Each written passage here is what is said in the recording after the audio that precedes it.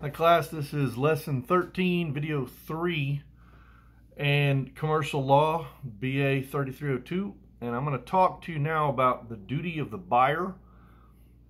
The and we're and again we're in you know the chapter is about performance and and uh, and remedies in the case of non-performance. What are what are the what are the duties of the buyer in a in a contract for a purchase? Okay. And this is going to be a purchase of goods under the Uniform Commercial Code or the UCC. The buyer has three general duties, inspection, acceptance, and payment, okay? I mean, he needs to inspect the product, accept the product, and then pay for it, of course.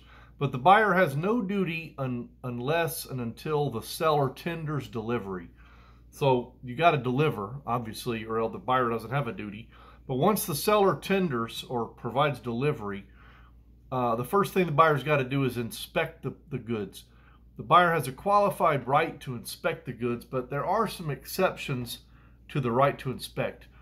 Um, a buyer might waive his right to inspect. Okay, that's the first thing.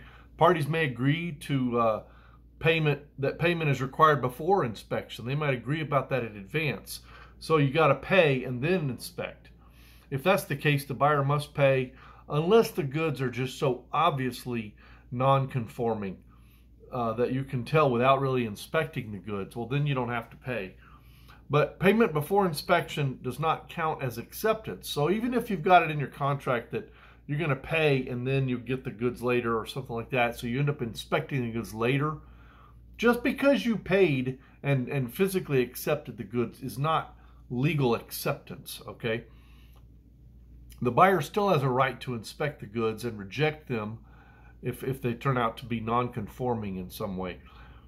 The second thing under inspection is uh, there's no prior inspection if delivery is made uh, COD. If it's cash on delivery, so you've got to pay when the stuff is delivered right then, you don't have to inspect first. Just pay the man, let him be on his way, you're the delivery guy or whatever, but then you do your inspection. Uh, the next point, um, C, I guess, under inspection is there's no, no prior inspection required if delivery is made against documents of title. So if they're going to deliver and, in, in, you know, the, it's the documents and the title documents, you don't have to inspect. Um, finally, if the buyer fails to inspect or he fails to discover a defect that inspection would have revealed, the buyer can't later revoke acceptance.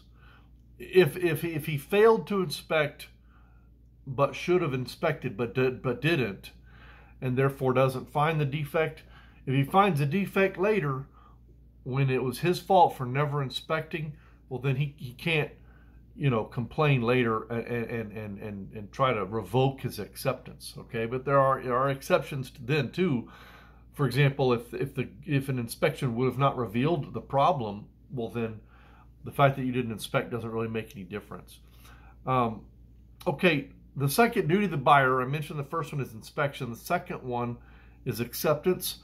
There's three ways to accept goods. First one is words. After a reasonable time to inspect, whether the buyer inspects or not, if he had a reasonable time and then he says to the seller that the goods are fine, the goods conform, I'm going to keep the goods. There maybe there's a non-conformity, but I'm keeping the goods anyway. Well, you can accept by words, obviously. The second way to accept is through silence. Uh, you had a re- after the, after a reasonable time to inspect, buyer never says anything, doesn't reject the goods. Well, then that becomes an acceptance because you had the goods, you certainly had time to inspect them, and you never said a word about it. Well, then that eventually is gonna that's gonna mature into acceptance by just by you keeping your mouth shut. So silence can be acceptance after, after reasonable time for inspection. And then the third way to accept would be action. So you've got words, you can accept by words, you can accept by saying nothing, and then of course you can accept by action, which would be like where a buyer acts in a manner inconsistent with the seller's continued ownership. For example, the buyer begins using the goods. Well, then he, he, he accepted them.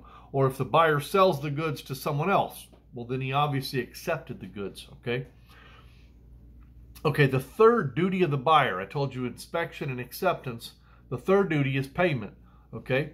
The parties may specify in their contract what payment is, what payment means, and, and when payment has to be made.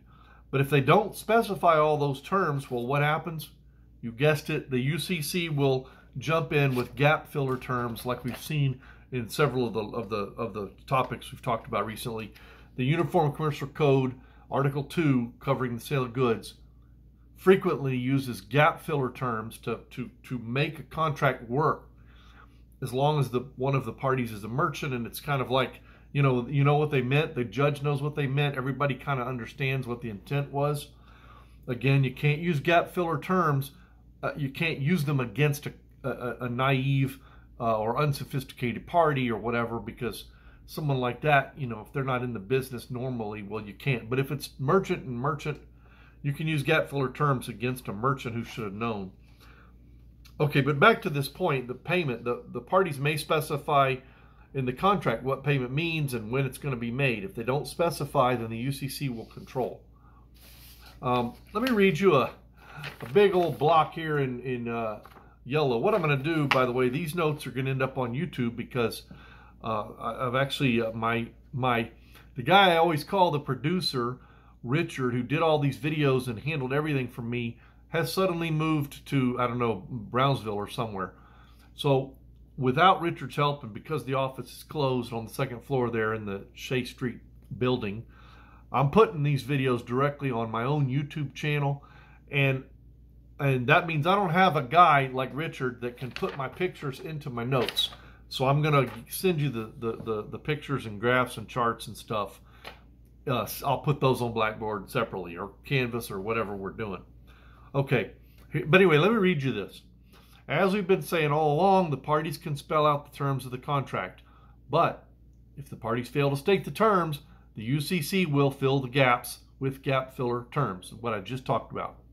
By the way, a key point I have failed to mention is that this is only true because this is a commercial contract. The law allows gap filler terms dealing with, when dealing with sophisticated parties.